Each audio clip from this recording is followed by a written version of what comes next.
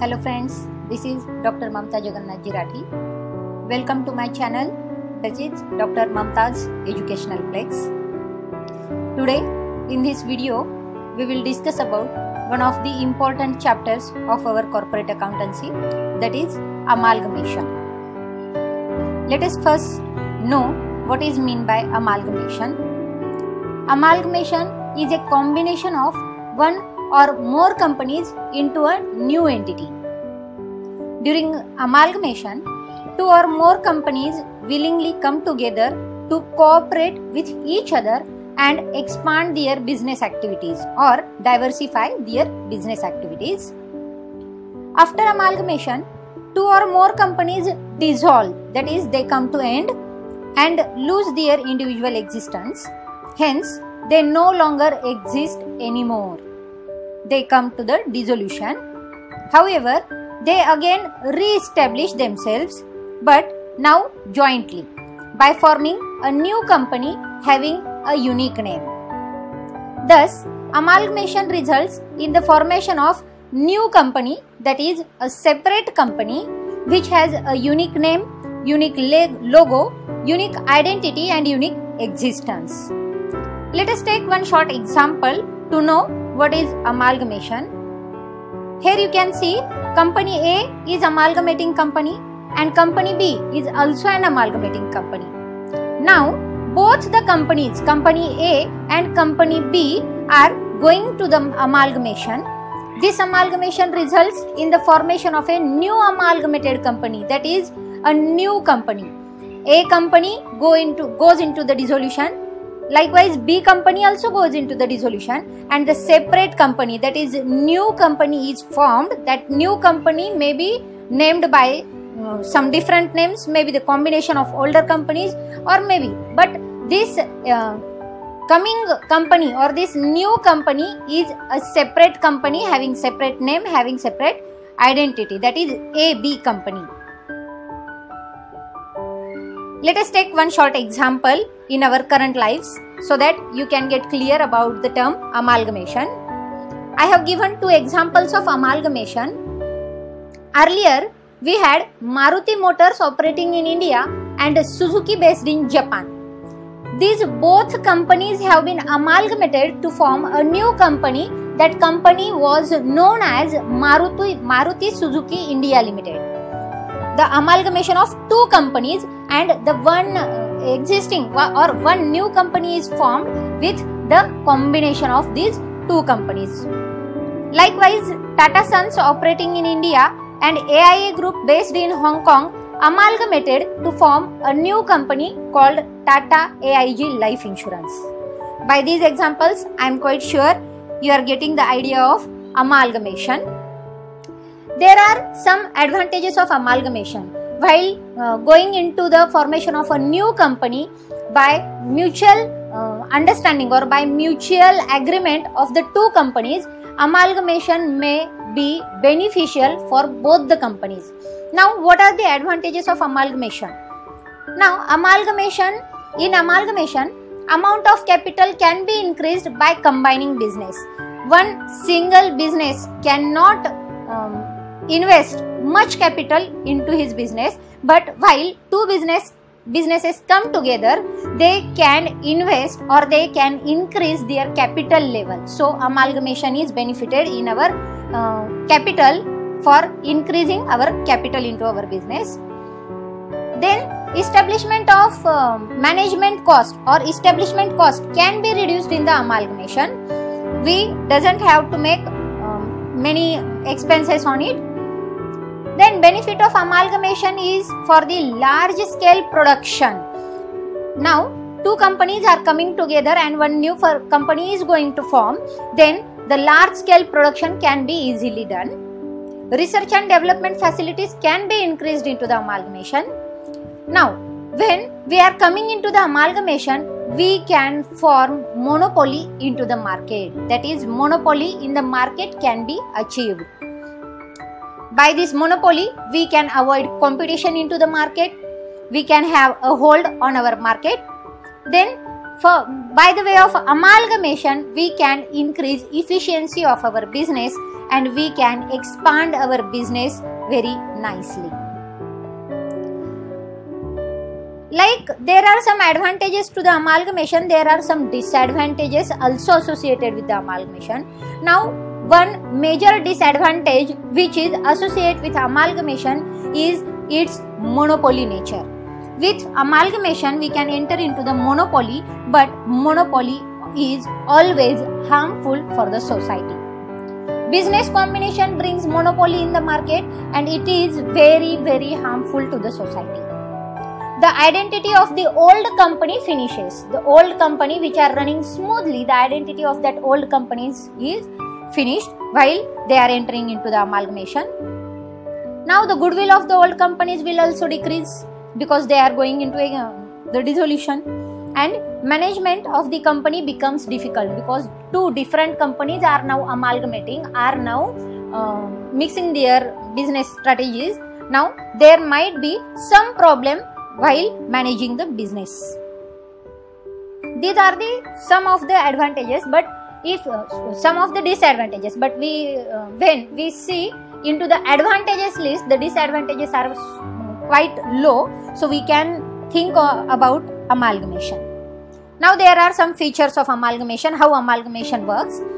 Two or more existing companies are liquidated. Firstly when the two companies are coming together for forming a new company at that time that two companies have to end up their businesses. It means they have to liquidate their businesses. A new company is formed to take over the business of liquidating companies.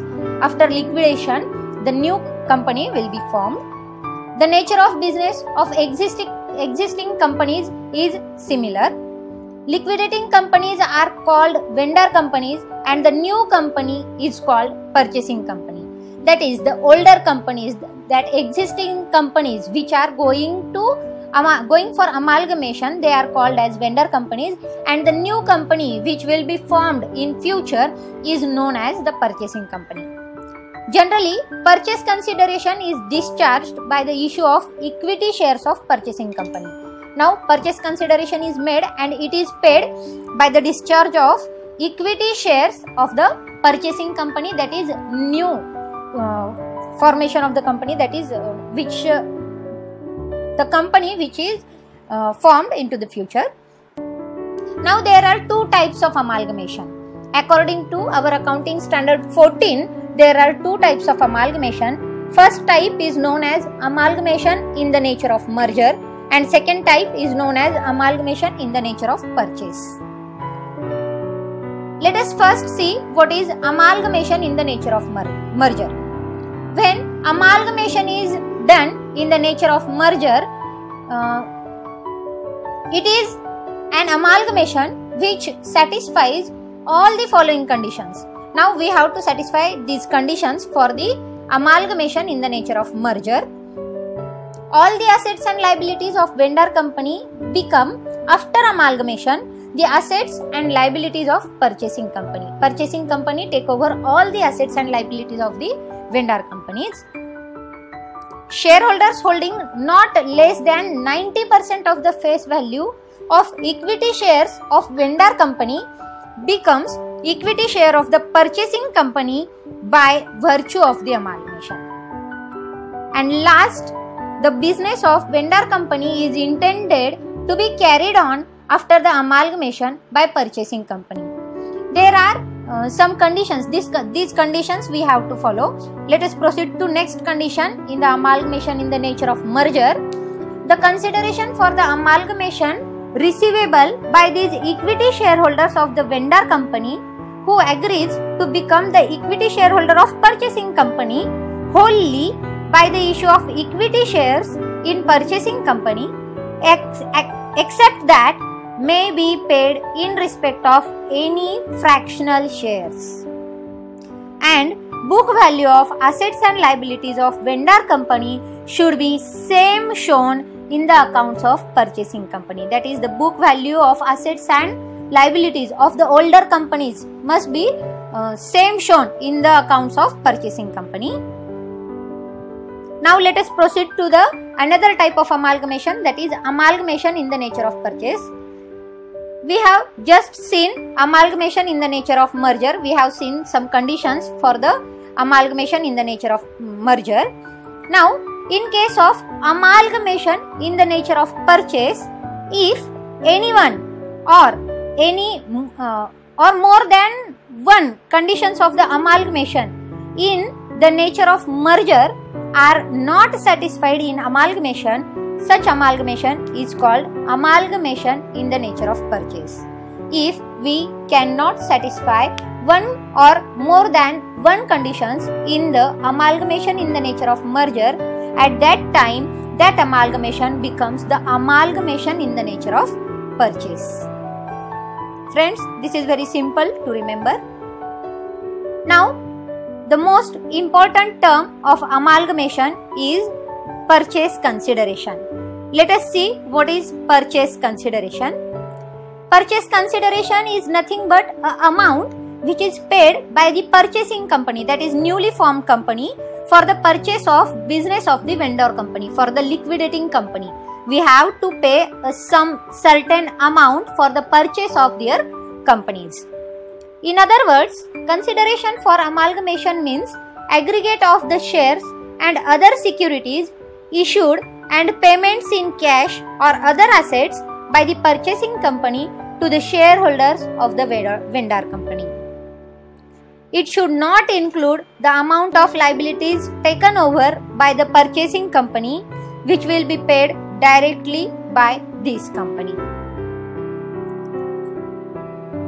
Friends, Purchase consideration can be made by two methods that is purchase consideration is a fixed amount which uh, both the companies are agreed with and this amount we have to pay to the uh, dissolving companies or liquidating companies or uh, those companies which are going into the amalgamation this purchase consideration is paid by the newly formed company that is uh, purchase company now this purchase consideration can be made with two types.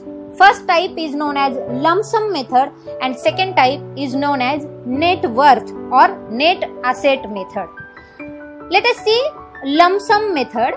When the transferee company agrees to pay a fixed sum to the transferor company, it is called a lump sum payment of purchase consideration. For example, if X company limited purchases the business of Y company limited and agrees to pay rupees 25 lakh in all, it is an example of lump sum payment. The X company has purchased the business of Y company and X company and Y company. Both are agreed to um, sell and purchase of their businesses for the rupees 25 lakh. It is their mutual understanding or mutual consideration. At that time this 25 lakh is known as the purchase consideration and it is known as lump sum method purchase consideration. Now let us proceed with net worth or net asset method. According to this method the purchase consideration is calculated by calculating the net worth of the assets taken over by the transferee company that is by the vendor company dissolving companies. The net worth is arrived at by value of assets taken over by the transferee company and agreed value of liabilities to be assumed by the transferee company. Now, net worth or net asset method.